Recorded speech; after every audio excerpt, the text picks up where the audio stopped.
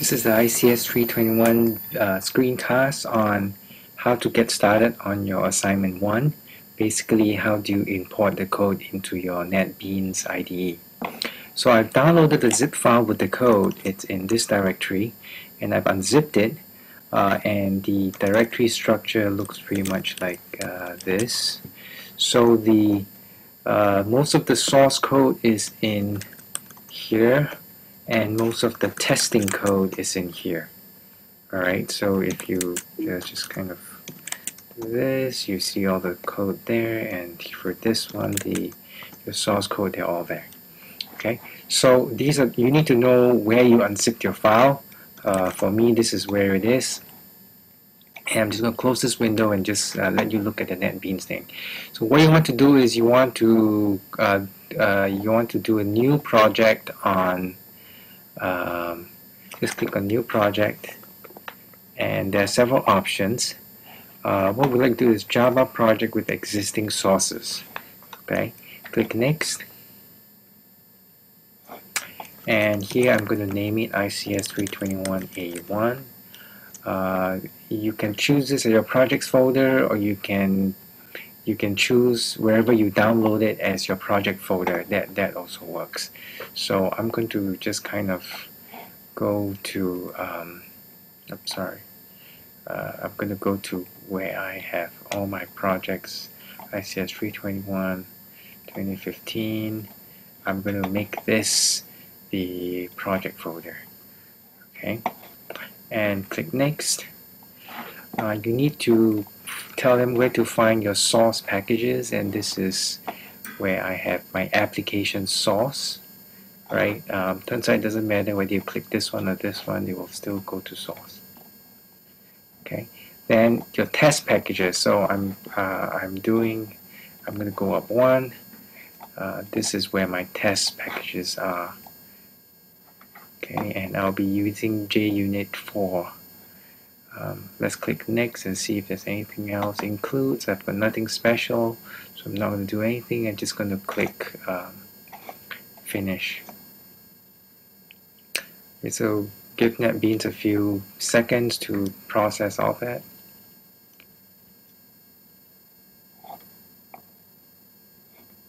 And uh, my computer is kind of slow. Okay we're, we're getting there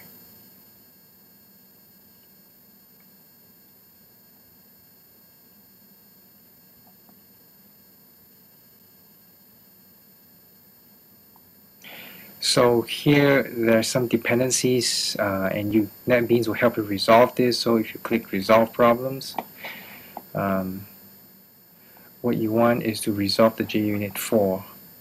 Okay, so resolve this and you will go ahead and actually uh, install the plugins. And what you want is you want JUnit 4 and click on I accept terms and agreements or what happened here.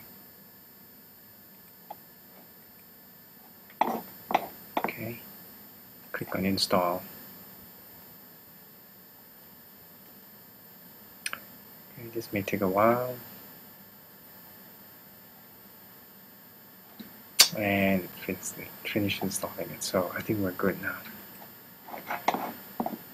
Okay, so you can click and look at your test uh, source packages, your test packages, and if you click here and you see that um, whenever you see this red exclamation mark means there's a problem. And we can look at that. And you can double click on driver.java and you uh, we realize that uh, there's a reference to database reader. And the database reader, reader class is not in uh, your source. Okay so this is a class that you have to create yourself alright and uh, I'm going to very quickly show you how you can do that. You click on this just create database reader class in package ICS 321 that's the one you want.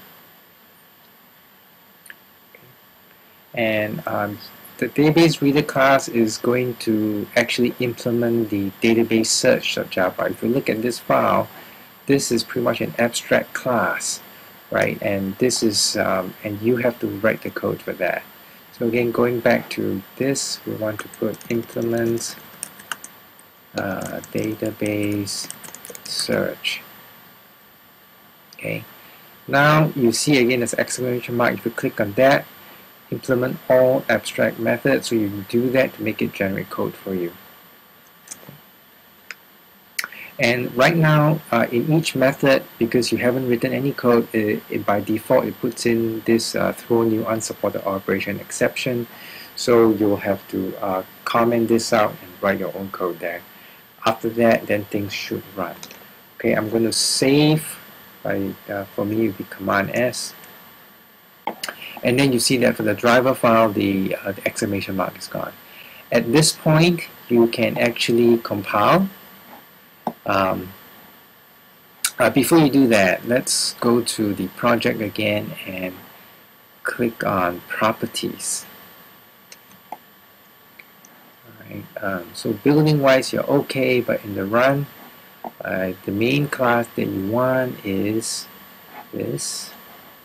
Right, arguments, you do want arguments. In fact, the uh, let's put the working directory first. The working directory is going to be this okay, which is correct.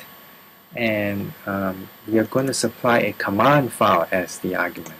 So we have provided several command files as examples and you can now just put commands.txt okay? And you can hit OK. And by the way just to let you look at uh, where the command files are. 21 1 so we have command files, database files. Database file, that's where the data, sample data that um, I have provided you.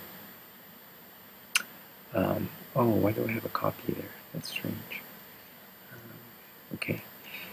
And uh, if you look at the command files, that's the commands I've given you. So uh, the program Okay, you should read through the program. The program is going to take as input a command file, and the command file will give you, um, it's a list of commands that you're asking the program to run.